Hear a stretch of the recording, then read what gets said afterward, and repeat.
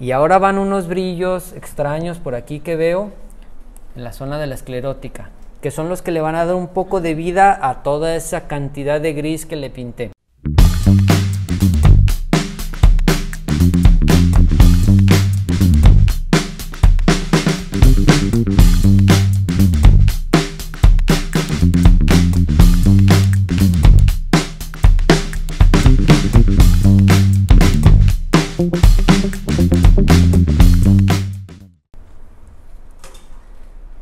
Seguimos trabajando en estas líneas radiales.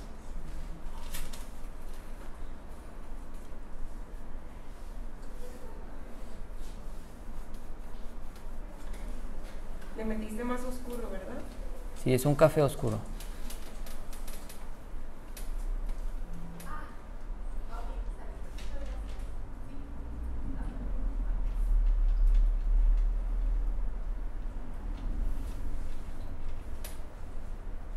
Bien, hasta ahí.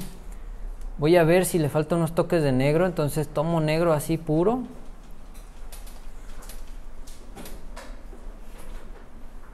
La pupila.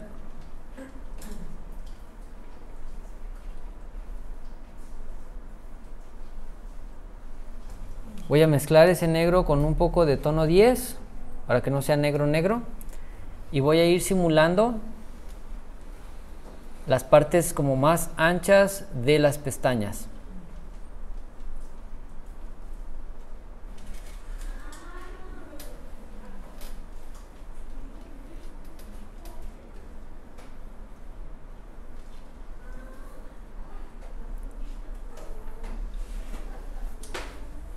Estas pestañas veo que tienen como cierta curvatura hacia abajo y llegan a tapar parte del ojo y luego salen. Entonces, no hagan las pestañas a partir de la línea hacia arriba. Tienen que bajar la curva, invadir un poco el ojo y luego sacarla. ¿Sí, sí, sí me explico con eso?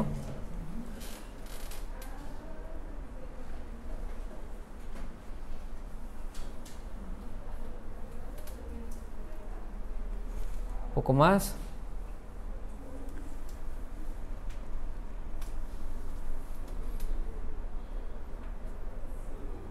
Se hacen una especie como de us aquí.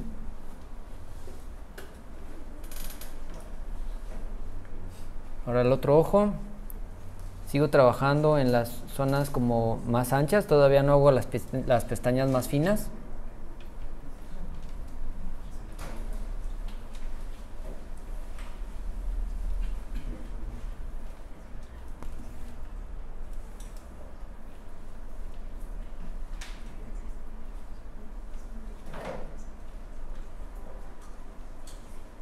Aquí también las pestañas invaden un poco el ojo.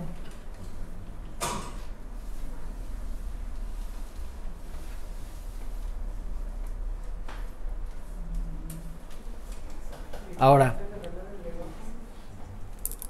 tomo un pincel de lengua de gato un poco más ancho, un poco de licking, tono piel tipo 4 o 5, y voy a comenzar a a suavizar esta zona.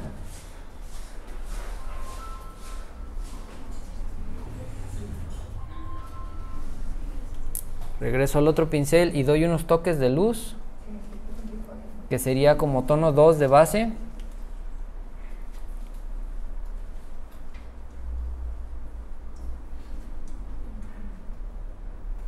Aquí hay una luz intensa.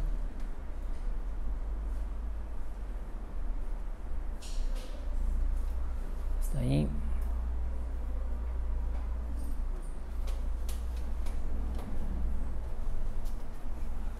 Ahora voy a cambiar de pincel por uno de pelo de Marta del número 0 y voy a trabajar en la luz del ojo. Entonces lo mojo un poquito para que corra la pintura. Tomo un toque de licking y voy a tomar azul real con azul real claro.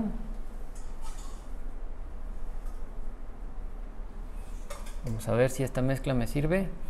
Y voy a ir simulando lo que parece aquí reflejo como de cielo con árboles.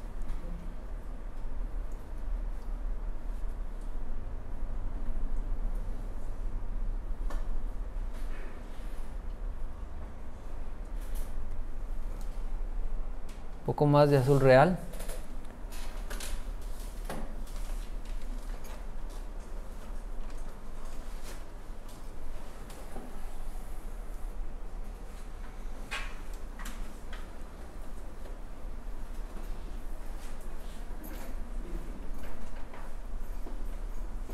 Hago una línea como de horizonte, de contorno, que no es una línea recta, sino que tiene como ciertas formas como en triángulo para simular ese efecto como de montaña, árboles o no sé, como algo en, el exterior.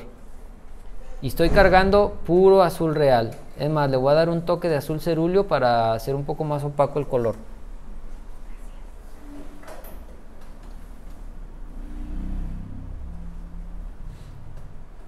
Pincel del número 1 o del número 0 de pelo de Marta, nuevo, así súper afilado. O sea, es un pincel suave que como esponja chupa la pintura. Y aquí no uso el semirrígido porque no quiero que me raspe, no quiero que levante la pintura que está abajo, sino que solamente me deje una capa por encima de húmedo sobre húmedo.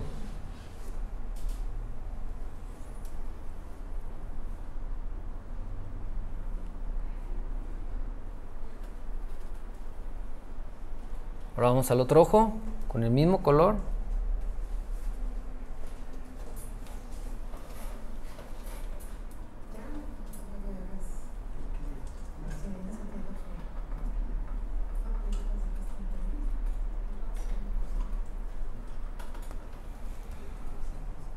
No es luz blanca, ¿eh? No es el tono 1. No vayan a usar blanco ni un color muy claro. O sea, es azul, es azul el que estoy usando.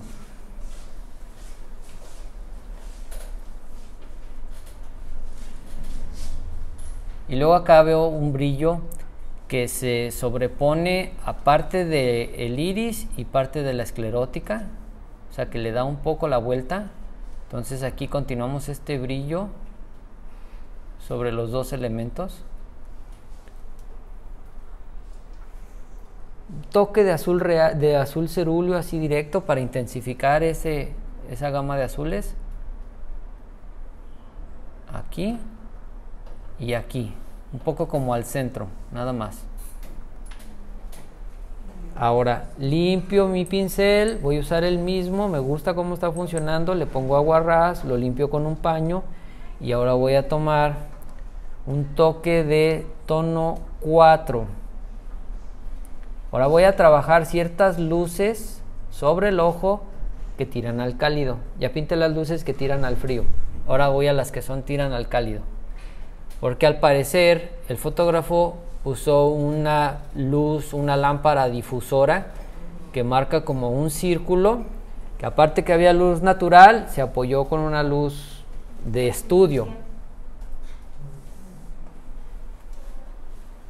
Y con esta, con este color voy a simular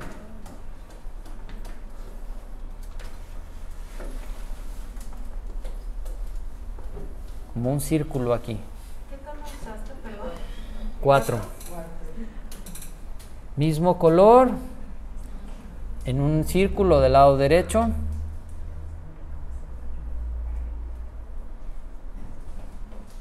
Y dejo un espacio entre este círculo y la luz de reflejo del cielo.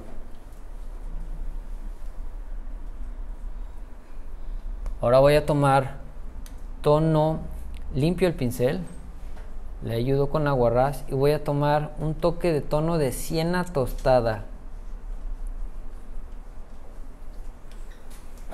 Y voy a pintar un punto dentro de ese círculo que acabo de hacer.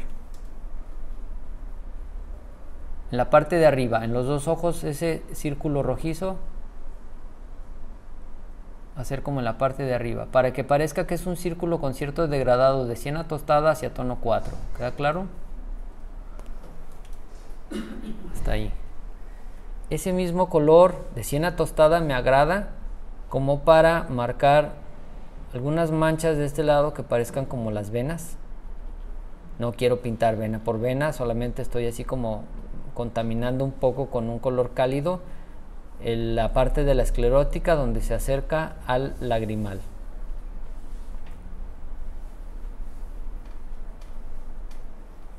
Ok.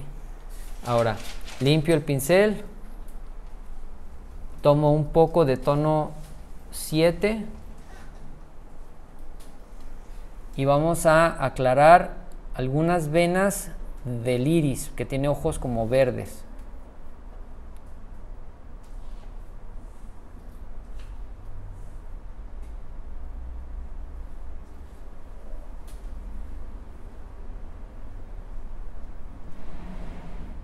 Igual, trazos de manera radial.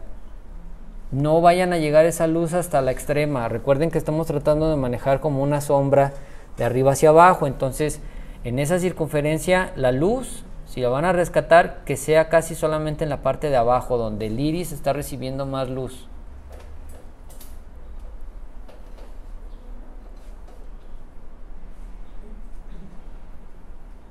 Muy sutil, o sea, muy poca pintura y al mismo tiempo que la pintan la están difuminando con el pincel. Que no les quede muy marcado esto. Recuerden el tema de desenfocar, desenfocar. Hasta ahí. Limpio mi pincel y voy a tomar tono 1. Muy poco, peino el pincel, tratando de que sea un trazo muy fino el que voy a dar y le voy a dar un toque de luz para que le ayude a esa luz de reflejo del cielo.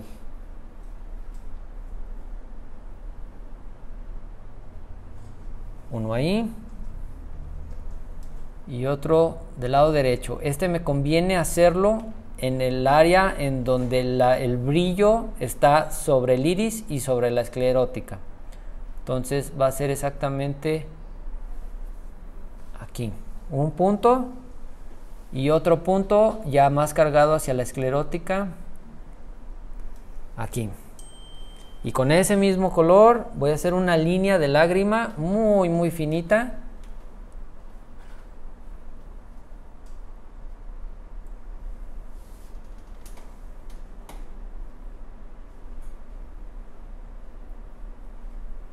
Una línea sensible que se vaya degradando. Se ve mejor en la pantalla que acá en vivo. ahí lo ven en grande. Va otra del lado derecho. Pincel super afilado. Eh, los que tienen el estuche de pinceles Pro traen un pincel del número 1 de pelo de Marta. Es el que estoy usando. Perfecto. Tengo que aguantar la respiración. Ahora, un poco más de tono 1 y ahora van unos brillos extraños por aquí que veo en la zona de la esclerótica, que son los que le van a dar un poco de vida a toda esa cantidad de gris que le pinté.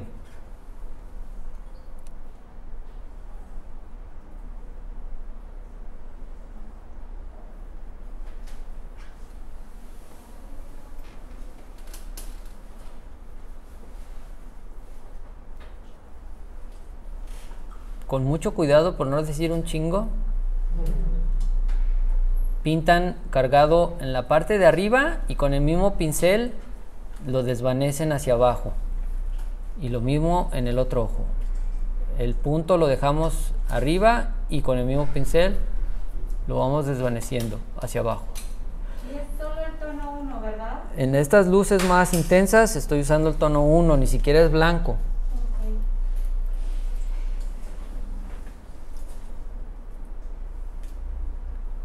Con este mismo, pero ya no tanto color y es más, lo voy a ensuciar un poco con tono 2 o tono 4. Le voy a dar una pequeña luz en este triángulo que se oscureció mucho.